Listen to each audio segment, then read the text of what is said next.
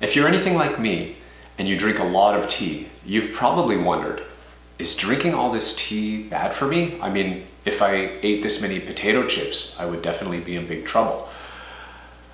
So, does tea cause any diseases? The answer is actually yes. In 1983, Sichuan first started finding cases of fluorosis due to heavy tea drinking. And from the 80s to the 90s, this was found in other provinces and work was undertaken to try to reduce the number of cases. And even after decades of work, in 2016, there were still seven provinces reporting an elevated number of cases of fluorosis due to heavy tea drinking. You've probably guessed that today's video is about tea and fluoride.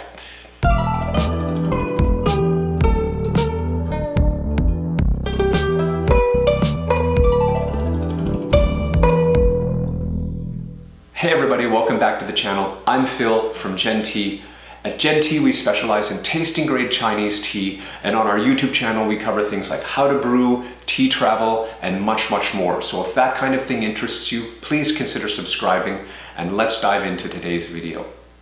I suspect most of you have heard of fluoride since it's in so many toothpaste brands. Fluoride is an essential nutrient for the human body. It's really important for bone and teeth health, and in Canada and the US, many cities actually add it to the water supply. But did you know that fluoride is also in tea plants? It gets into the tea plants through the soil, fertilizer, and air. And once it's in the tea plants, it accumulates in the roots, the flower, the seeds, and the leaves. But predominantly, it's in the leaves. And it's not just a little bit in the leaves, Tea is known as a hyperfluoride accumulator. It gets a lot more fluoride than other plants, but somehow doesn't experience the toxic effects that other plants would encounter if they had the similar level. Why does tea accumulate so much fluoride and how does it prevent these negative effects? Well, this is not fully understood, but as tea lovers, we're more concerned with how this fluoride in the tea affects us as tea drinkers. Besides the environmental reasons, there are other factors that influence the level of fluoride in tea. The most impactful is the maturity of the leaf. An old, mature leaf has more fluoride than a bud or a young leaf. The cultivar influences the amount of fluoride as well, where small leaves have less fluoride than big leaf cultivars. The harvest season also plays an important role, summer and fall being higher in fluoride than a spring pluck. The region where the tea comes from is also important.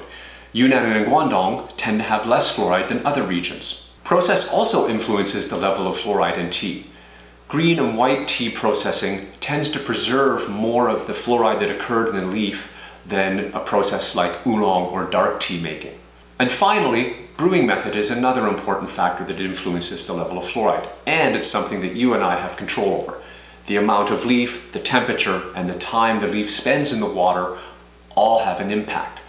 For example, after five minutes in boiling water, over 70% of the fluoride is out of the leaf and into the liquor.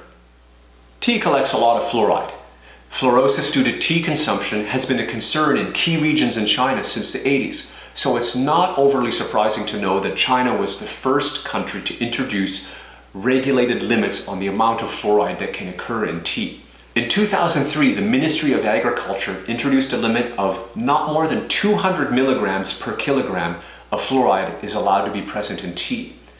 In 2004, efforts were made to standardize the way these tests were conducted to make sure measurements were accurate. In the regions impacted by higher rates of tea-induced fluorosis, extra steps are taken. On the producer side, the cultivar selection is carefully considered to reduce the amount of fluoride that's collected in the tea plant initially. Plucking standards are also introduced to further reduce amounts of fluoride that end up in the finished tea. And finally, steps are added to the processing to lower the amount of fluoride in the finished tea.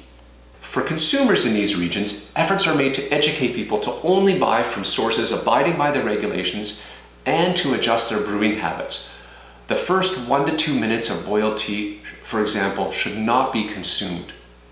And tea should not be prepared with soda ash because soda ash is alkaline and fluoride dissolves more easily in an alkaline solution.